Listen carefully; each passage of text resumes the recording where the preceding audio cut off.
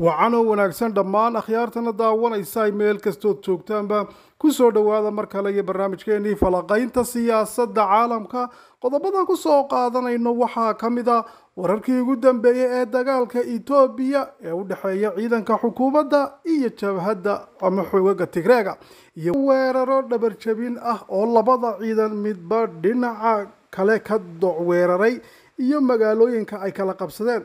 iyo waa maxay sababta keentay ciidanka tigreegu in ay horumarkii iyo deegaanadii ay xawliga ku qabsanayeen labadii wiig ee aynu soo dhaafnay? Maxaa yareeyey ee dib u joojiyey?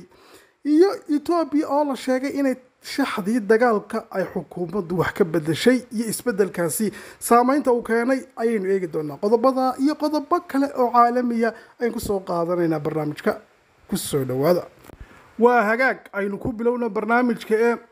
dagaalada ka socda etoobiya gobollada waagaximra dhinaca humeera iyo waqooyiga wallo iyo waqooyi galbeed tigrey dagaalada ayaa inta badan waxa ay ka socdaan furimo adag oo dhinacyadu markaasi ciidamo badan ku soo daabuleen. Dagaalada dhinacyadu horumarka ay ka sameeyeen ayaa ka socda waqooyiga gondar gaar ahaan dhinaca aadi arkey magaaladaasi oo markaasi ciidanka dowladdu ay sheegeen in iyagu ay qabsadeen. Waxaana sida oo kale haatan sheeganayaan markaasi xukuumadda etoobiya ciidankoodu in ay qabsadeen magaalada kale ama deegaanka weyn ee maytasabre dhanka kale ciidamada tigrey ayaa daba maray oo dhabarjabin ku sameeyey ciidamada dowladda oo sheegay in ay dagaal ku qaadeen deegaanada u dhexeeya adi arkey iyo juubar si ay u kala gooyaan ciidamada huwanta ah oo saadka iyo cuntada iyo ciidanka gurmadka ahba ay uga hor istaagaan. Waxaana haatan ay sheeganayaan tigreegu in ay oogeliyeen ciidankii dowladda ee qabsaday adi arke inkastoo magaalada adi arke ay tahay magaalo markaasi ama deegaan dhul joog sare ah oo buuraley istaraatiiji ah kaasoo dhulka kale ay ka hooseeyaan. Marka ciidanka aagaasi qabsadaana ay si fudud markaasi aan loo saari karin haddana tigreegu waxay ku doodayaan in iyagu markaa khidad dagaal ahayd ka bixitaankoogii ay ka baxeen adi arke iminkana ay dabamarista ay ku sameeyeen ay rabeen markaasi inay oog gashadaan xoogaga ciidanka etoobiya haatan qabsaday adi arke. Sida oo kale waxa ay sheeganayaan markaasi inay doonayeen markaa tigreegu inay awoodda ciidanka dowladda kala qaybiyaan oo haatan ay u fududaatay inay socon karaan markaasi xoogaga tigreegu ilaa dibaak iyo daabat iyo deegaanada kale ee waqooyiga gondar. Waa sida ay markaa tigreegu ku doodayaan haddaba dagaalada ayaa sida oo kale ka sii socda waqooyi galbeed tigrey inkasta oo ayna dhinacyadu horumar la taaban karo ka sameynin balse waxaa lagu dagaalamayaa qalcadihii hore. Haddaba sababta joojisay horekicii ama horumarkii ay wadeen tigreegu ayaa la sheegayaa inay tahay dhabarjabin lagu sameeyey ciidanka tigreega afhayeenka xoogaga t b l f ama tigreega gatajo rera ayaa sheegay in ciidamada eritrea ay duqeymo xidhiidh ah ka fulinayaan nawaaxiga garaad ee tigrey qoraal uu gatajo reda ku soo qoray twitterkiisa ayuu ku sheegay inay ciidamada eritrea iyo kuwa etoobiya ay weeraro ku qaadayaan markaasi deegaanada rama tisarona salambesa iyo dalool balse wuxuu intaasi ku daray inay ciidamadoodu si adag iskaga difaaceen weerarkaasi welina uu socdo. Haddaba sidii aan shalay idiin sheegayay barnaamijkeeni aan shalay ku soo qaadanay. Tigreegu dhinaca adigaraad ayaa laga soo weeraraya waani shalay idinkula weeraradu ay markaasi waxay noqonaysaa furin cusub markaa adigaraad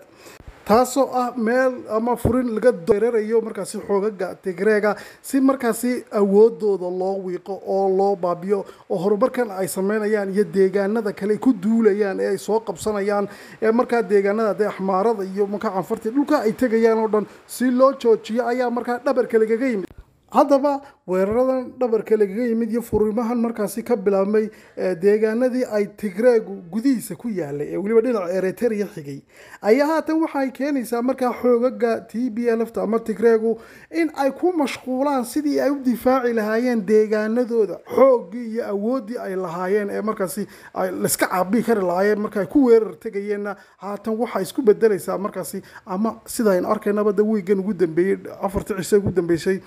waxay noqdeen markaasi marka isdifaacid ah ay haatan gelayaan. Haddaba waxa sida oo kale jirta ergeyga gaarka ah ee geeska africa u qaabilsan maraykanka mike hamer ayaa soo gaadhay etoobiya si uu dhinacyada ku dagaalamaya waqooyiga etoobiya ugu cadaadiyo wadahadal nabadeed dadka falanqeeya siyaasadda ayaa haddaba haatan waxa ay sheegayaan sababta ergeyga maraykanka imika ku soo celisay adis ababa inay tahay ciidankii tigreega oo laga awood batay ayay leeyihiin taasoo haatan horusocodkii iyo xooggii ay lahaayeen awiiqantay sababtuna tahay ciidanka etoobiya iyo eritrea ee dhabarjabinta ku sameeyey gaar ahaan ciidanka ka soo weeraray adigaraad iyo salambesa kuwaasoo markaasi ciidamadii isku dhafka etoobiya iyo eritrea. Marka shaxdii dagaalka ayaa wax weyn ay ka bedeshay markaa xukuumadda etoobiya iyadoo ciidankeedii dowladda etoobiya ay geysay eritrea oo diyaarado waaweyn ay ku daabushay kana dejisay musawac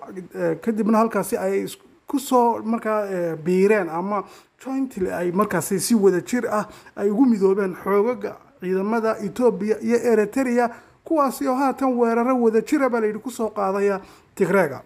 marka waxaa la yidhi eritrea laguma qabsan karo weerarka dhabarjabinta ah waayo waxaa haatan dagaalka qaaday waxaa la odhanaya waa ciidanka etoobiya oo eritrea ka soo weeraray. Markaa halkaa weerarka ka soo sameeyey. Marka reer galbeedku waxba ma weydiin karaan eritrea oo waxba kuma qabsan karaan oo ma odhan karaan ciidankii eritrea weeraray tigree afaweerki wuxuu taagan yahay oo ku doodaya etoobiya iyadiibaa isdilaysa anigu shuqul kuma lihi. Sidaa darteed waxaa haatan weerarka qaaday waa ciidanka etoobiya ayuu taagan yahay. Marka siyaasadda dagaalka waa laga badiyey baa la odhan karaa. Haddii dhinac laga eego reer galbeedka iyo tigree ayaa lays odhan karaa. Marka shaxdii ay dejiyeen iyagu haatan markaasi waxbaa iska bedelay inkastoo reer galbeedku ay dhex inay yihiin ay ku doodayaan laakiinse taageerayaasha etoobiya waxay sheegaan markaa reer galbeedku tigreeg la socdaan. Adu waxaa la odhan karaa shaxdii uu tigreeg dejistay markaa ciidanka tigreegu haatan waa laga badiyey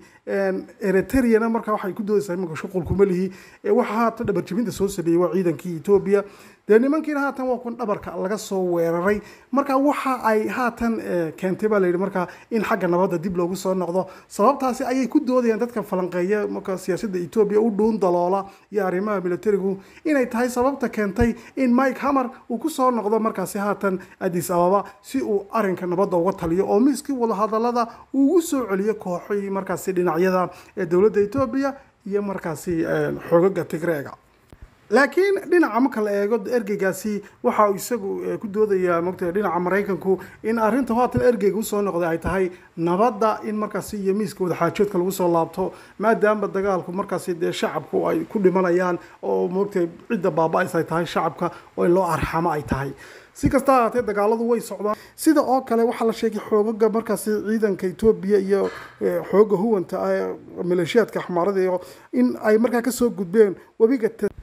tasadka markaasi kala qaybiya ayaa la oran karaa markaasi axmaarada iyo tigreega. Gaar ahaan dhinacan moogtahay loo imika haystaan markaasi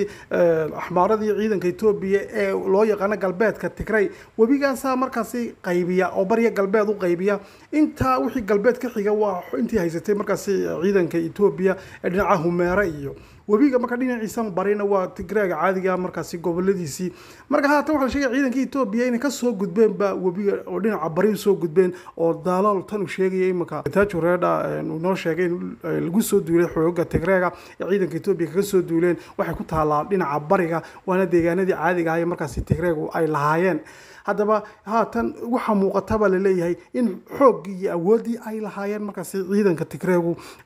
dhabarjabintaasi haatan ay keentay marka inay weeqanto oo iminka waxa ay gelayaan baa layidhi heer istifaacida. Si kasta ahaatee dagaaladu way socdaan. Wixii ka soo kordha way noo barnaamijyada dambe. Barnaamijkan intaasu ku dhayay tan iyo kulantideena dambe. Nabadgelyo